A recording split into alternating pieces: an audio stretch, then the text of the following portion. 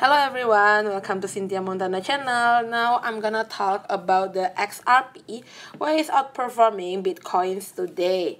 So before I started, don't forget to like, comment, and subscribe. Enjoy everyone. I'm gonna use a technical analysis about how you know there is a support and the resistance.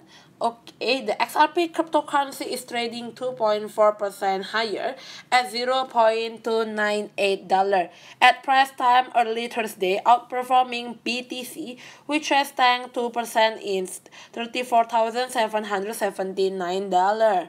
The surge comes following the Wall Street Journal report that President Joe Biden is expected to dominate the Foreign Treasury Department official Michael Barr to head the office of the Comptroller of the Currency.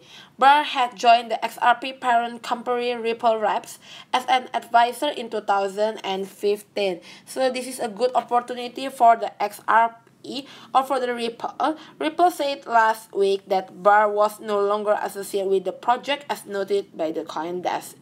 Ripple earlier this month announced that the firm, Amazon Vice President for Delivery Experience, was joining the company as Senior Vice President of the Engineering.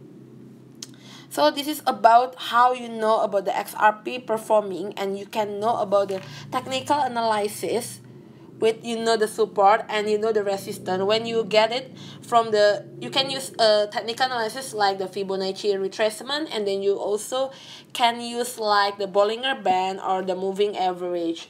And you can search in your investing or in the trading view about the technical analysis but actually I'm using a moving average and the Bollinger Band and also the Fibonacci retracement as I uh, you can see in there I'm just telling you about how you know about the uh, price how you know about when you have to take profit and when you have to enter the market. This is how you can know to invest is it for the trading or for invest in the long term.